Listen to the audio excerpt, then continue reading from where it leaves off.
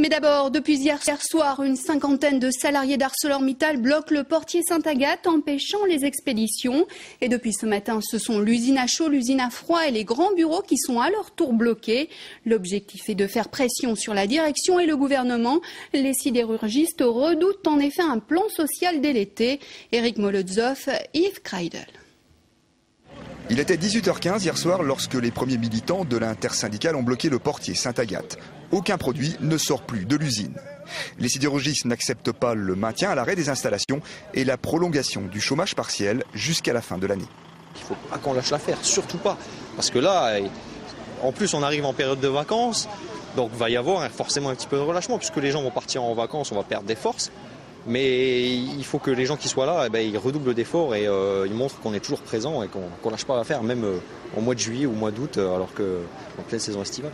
Depuis ce matin, les quatre accès principaux sont bloqués, y compris la gare d'Ebange, passage indispensable des matières premières et des produits finis.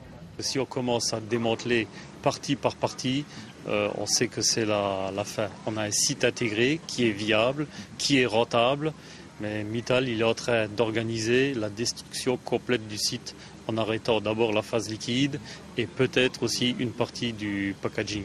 Donc on est là pour demander à garder l'emploi sur le site. Pendant ce temps, les camions bloqués s'accumulent au portier. Les chauffeurs, compréhensifs, prennent leur mal en patience. Il faut les aider, il faut, il faut les aider un petit peu quand même. Surtout des entreprises comme ça qui font du bénéfice et qui se permettent de licencier. Il y a un moment, faut... je pense qu'il faut. Il y a un gros souci en France. Les sidérurgistes ont prévu de libérer les accès de l'usine dans la soirée, mais ils sont bien décidés à maintenir la pression sur la direction, mais aussi sur le gouvernement héros. Sur place, on retrouvera dans un instant Emmanuel Boire pour une page spéciale de ce journal consacré au blocage du site. Voilà pour le reste de l'actualité. Comme prévu, retour à Florange où les salariés d'ArcelorMittal bloquent les principaux accès du site. Emmanuel Boire, vous êtes sur place depuis hier soir avec eux. Avec vos invités, vous allez tenter de nous expliquer les raisons et les objectifs de ce nouveau coup de force.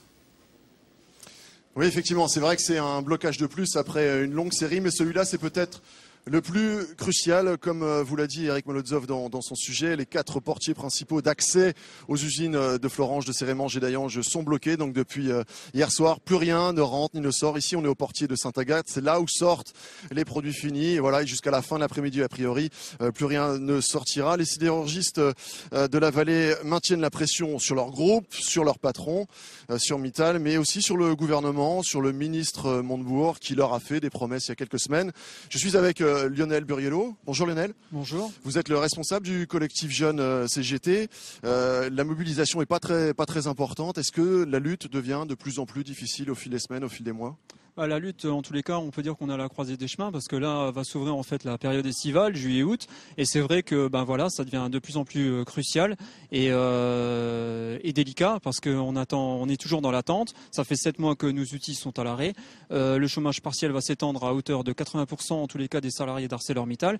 Et, euh, et nous, ce qu'on veut en fait, c'est comme vous l'avez dit, c'est maintenir la pression et en tous les cas euh, ne rien lâcher jusqu'au but final. En tous les cas, c'est de, démarrer nos entités qui, ne tournent plus.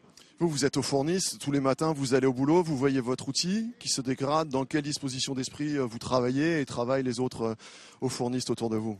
Bah écoutez, en tous les cas, comme je disais, c'est euh, navrant parce qu'on on est fier de nos outils et quand on les voit euh, se dégrader à, vue d'œil, c'est euh, frustrant. Et, et, et, en contrepartie, voilà, venir au, au, travail et se sentir en tous les cas mis à l'écart et en tous les cas pas faire correctement son boulot comme on le faisait avant tous les jours, ça devient de plus en plus euh, frustrant et, euh, et de plus en plus, ben voilà, nos compétences, nos compétences euh, se font la malle. des jeunes qui partent et qui vont voir vers d'autres horizons car ils, sont, ils se sentent placardés et n'ont plus de perspective d'avenir. Alors il y a une mission gouvernementale qui est en train de faire son travail, qui doit rendre son rapport. Vous, à la CGT. Vous en attendez quoi de cette mission gouvernementale? Bah, Qu'elle porte ses fruits, parce que si en tous les cas elle confirme ce que, en tous les cas, l'expertise qui avait été donnée il y a un mois en avant par CECAFI, que tous les voyants étaient ouverts en tous les cas pour démarrer notre filière liquide et notre packaging, elle servira strictement à rien. Alors après, c'est partir sur d'autres alternatives, comme euh, bah, la prise de participation, comme la, la renationalisation, et, euh, et, et, voilà, et que ce soit pas en tous les cas une promesse par défaut.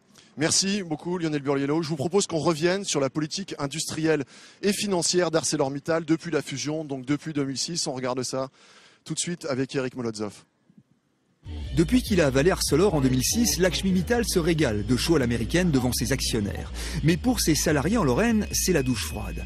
La fermeture de Gandrange en 2008 et l'externalisation de plusieurs services à Florange ont réduit les effectifs de 30%. Plus grave encore, le sidérurgiste indien a institué le stop and go, arrêt et redémarrage à la demande des installations, une pratique qui fragilise les outils. On a beaucoup évolué parce qu'effectivement, il y a les technologies, il y a les gens qui se sont adaptés, il y a l'évolution des compétences qui fait qu'aujourd'hui, la sidérurgie est peut-être qualifiée de flexible. Au fourneau peut-être arrêté, peut-être redémarré, mais tout ça dans une logique industrielle et pas à l'emporte-pièce. On ne prend pas les décisions comme le fait Mittal, en tout cas comme le laisse transparaître Mittal, à 15 jours près. On dit dans 6, dans six semaines, on rallume au fourneau, trois mois après, on l'arrête, deux mois après, on le rallume. C'est ça, en fait, qui détruit l'outil.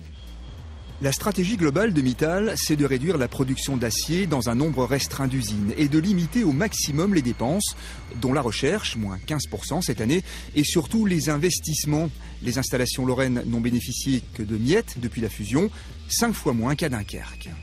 La stratégie de Mittal est là avant tout, je pense, d'aller là où il y a des marchés donc il n'y a pas de frontière pour lui. Là, il y a des marchés, c'est davantage les pays euh, émergents, et c'est là euh, qu'il veut investir au détriment de, je dirais, de, ce que s'appelle les bases les moins productives ou les moins compétitives, ce qui, ce nécessite de discussion quand même. Hein. Voilà, quand on voit une usine intégrée comme celle de Florange, elle fonctionne relativement bien. Ceci étant, il peut y avoir des taux de rentabilité à un ou deux points qui sont inférieurs. Voilà, Mittal, euh, lui, sa stratégie, c'est d'essayer de dégager le plus rapidement possible le maximum de profit au niveau de ses investissements.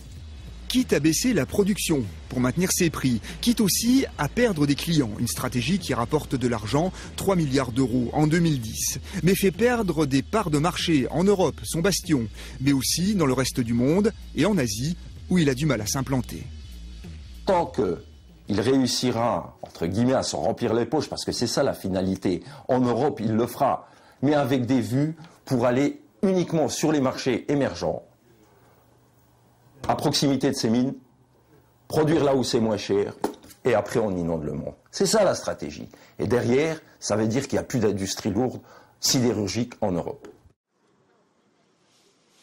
Donc nous sommes toujours sur le blocage des sidérurgistes d'ArcelorMittal au portier de Sainte-Agathe. Un, blocage qui était prévu initialement ce matin à 5 heures, mais euh, les militants CFDT ont pris tout le monde de court hier, puisqu'à l'issue de l'Assemblée générale, ils ont décidé de bloquer euh, directement tout de suite. Ils sont là depuis hier soir. Je suis avec Édouard Martin. Vous représentez, bonjour Édouard. Bonjour. Vous représentez euh, la CFDT au comité d'entreprise européen d'ArcelorMittal. Euh, vous avez pris tout le monde de court, euh, y compris le gouvernement qui, vous, qui a essayé de vous joindre ce matin. Est-ce que vous avez eu Arnaud Montebourg au téléphone? Non, pas encore. Normalement, il devrait m'appeler dans quelques minutes. J'attends son appel justement.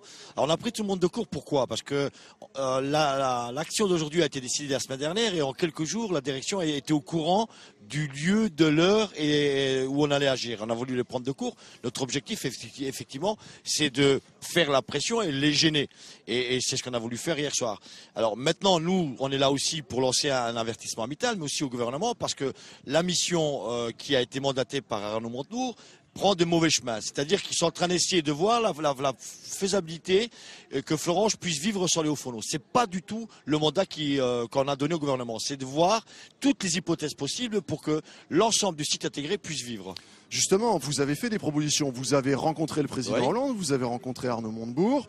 Euh, il y a un cabinet d'experts qui travaille pour vous, le cabinet Syndex, et qui a des scénarios. Quel est le meilleur scénario selon alors, Évidemment, le scénario idéal, ce serait que Mittal euh, enfin accepte d'investir et rénover les fourneaux. Mais apparemment, on s'éloigne de cette hypothèse-là. Mais après, il y a trois autres scénarios possibles. Le premier, c'est qu'il y a un repreneur qui puisse racheter l'ensemble du site. On ne parle pas uniquement des hauts fourneaux. Et il y a des repreneurs qui peuvent être intéressés. Le deuxième scénario, c'est qu'il y a un d'investisseurs publics, privés, qui puissent euh, faire que Florange soit indépendant. Ça se fait du côté de l'Allemagne. Et le troisième scénario, c'est à travers le projet Ilcos, où on pourrait faire un consortium européen où Mittal ne serait que l'opérateur industriel du projet Ilcos. Voilà quels sont les trois scénarios et dont on a eu plutôt euh, une, euh, une, vision, une option favorable de, du président et du ministre. Merci Monsieur Martin. L'un des scénarios que vous proposez correspond en tout cas à ce que la sidérurgie sarroise a réalisé depuis dix ans, puisque avec la participation notamment de la région, ils ont réussi à limiter le pouvoir d'ArcelorMittal. Je vous propose de voir cet exemple en images. Les images sont signées Eric Molozov. surtout ne pas se fier aux apparences. Derrière un aspect vétuste, les usines sidérurgiques sarroises cachent des installations ultramodernes. Avec 2 millions de tonnes en 2010, Zarstahl est le sixième producteur d'acier brut en Allemagne et un très gros pourvoyeur d'emplois dans la région. Malgré la crise, ses effectifs ont grimpé d'un millier de salariés depuis 2006. Aujourd'hui, le groupe compte trois fois plus de sidérurgistes qu'à Florange. Nous avons pu conserver en Sarre le cœur d'activité de cette industrie très moderne. Elle est aujourd'hui euh, très productive. Au total, ce sont près de 11 000 sidérurgistes qui travaillent sur l'ensemble des sites, notamment chez Zarstahl à Dillingen. Et ce sont vraiment de super métiers. Zarstahl concentre ses activités sidérurgiques sur quatre sites principaux des laminoirs pour la production de fils machines et de tubes à Neunkirchen et Bourbach, deux hauts fourneaux et une coquerie à Dillingen, et surtout des activités de forge à forte valeur ajoutée à Völklingen, dans lesquelles le groupe a investi massivement ces dernières années, 100 millions d'euros et 400 emplois créés. La politique industrielle de Zarstahl est la résumée. Priorité aux investissements plutôt qu'aux dividendes. Malgré les années de crise, le groupe a toujours privilégié les investissements massifs. Au total, près d'un milliard d'euros les trois dernières années, quand le site ArcelorMittal de Florange n'en a reçu que 200 millions en 6 ans. Cette politique industrielle assumée au détriment des intérêts financiers s'explique par la gouvernance mise en place depuis 2001. C'est une fondation qui regroupe toutes les sociétés sidérurgiques du groupe, Montage Stiftung Saar. Grâce à un montage complexe, elle permet d'associer le Land de Saar aux intérêts privés et surtout elle limite à 30% la part d'ArcelorMittal parmi ses actionnaires, c'est-à-dire un rôle marginal dans les prises de décision. Le Land a dit, si nous mettons de l'argent dans la sidérurgie, on veut aussi peser sur les choses, avoir de l'influence. Nous ne voulons pas que d'autres groupes puissent interférer dans nos décisions. Et donc, ils ont créé cette fondation où le Land et ses partenaires sont si étroitement liés qu'il est impossible de leur imposer quoi que ce soit. Le scénario sarrois, avec des éléments identiques au départ à celui de la sidérurgie lorraine, à savoir une crise dans les années 80 et 90, est parvenu à modeler une industrie de pointe qui embauche et investit massivement. Les salariés de Florange n'ont pas moins de compétences ni d'atouts, mais il leur manque jusqu'à aujourd'hui l'élément principal de leur survie, une volonté politique farouche de maintenir en vie la sidérurgie. L'exemple sarrois, c'est un exemple que connaît bien mon dernier invité, Gilbert Krosner. Bonjour. Bonjour. Vous êtes le rapporteur de la situation économique au Conseil économique et social et environnemental de Lorraine, mais surtout, vous êtes un ancien sidérurgiste. Tout à fait. Donc vous connaissez bien l'exemple sarrois. Est-ce que le parallèle, selon vous, est pertinent Est-ce que ce scénario-là pourrait s'appliquer à Florange? C'est-à-dire qu'il y a une grosse différence entre la Lorraine et la Sarre. Déjà, c'est en termes d'évolution des, productions. On voit que depuis 90, la Sarre n'a pas baissé ses capacités de production, alors que la Lorraine les a baissées sensiblement. C'est pas les mêmes acteurs. Nous, on voit qu'on a la toute-puissance d'Arcelor, Mittal. Aujourd'hui, Mittal euh, en Lorraine et en France, qui fait 90% de la production. Alors si on regarde l'Allemagne, c'est que 15%. Donc il y a, il y a une diversité d'acteurs économiques et il y a aussi euh, une grande euh, différence, c'est aussi de la valorisation au niveau des produits sidérurgiques. Il y a une grande transformation des produits en Allemagne, ce qui ne se produit pas actuellement en France, ou pas suffisamment. Est-ce que c'est un exemple à suivre? Est-ce qu'on peut s'en inspirer? Mais, tout à fait, je pense que là, il y a une présence publique en Allemagne, incontestablement, donc il faut regarder, il y a des statuts différents qui posent peut-être des problèmes actuellement en France, mais je pense qu'il y a une, une intervention publique en Allemagne qu'il n'y a pas en France, et c'est assez regrettable d'ailleurs. Monsieur Krosner, vous connaissez bien les usines qui sont euh, derrière nous. Vous avez travaillé toute votre vie comme, ingénieur à l'IRSID au centre de recherche. Est-ce que les usines qui sont derrière vous sont rentables? Est-ce qu'elles sont performantes? Est-ce qu'elles ont un avenir? Je pense que c'est des outils qui sont, tout le monde peut le dire, c'est des outils qui sont performants, mais euh, on est actuellement dans un cycle baissier au niveau, euh, au niveau de la conjoncture, et même dans, cette conjoncture-là, c'est des usines qui rapportent. Mais ceci étant, ils ne rapportent pas suffisamment je crois qu'il faut rappeler quand même que Mittal souhaite une croissance à deux chiffres au niveau, euh, au niveau de sa rentabilité, ce qui est difficile dans la conjoncture actuelle. Mais c'est une usine qui possède des outils euh, très performants, que ce soit au niveau de l'aval comme de l'amont. Donc il faut sans doute conforter. On voit qu'il y a des sous-investissements actuellement au niveau de la sidérurgie lorraine. Ça représente que 10% des investissements d'ArcelorMittal en France. Donc c'est un élément important. Et aussi, je pense que nous on insiste beaucoup là-dessus, il faut conforter ce site avec Ulcos, par exemple, qui pourrait peut-être dynamiser ce site et en faire, comme on dit, une vitrine technologique mondiale, une vraie rupture technologique par rapport à la production d'acier. Merci beaucoup, Monsieur Krosner, d'avoir été euh, mon invité. Voilà ce qu'on pouvait dire ce matin sur la situation donc ici au portier de Sainte-Agathe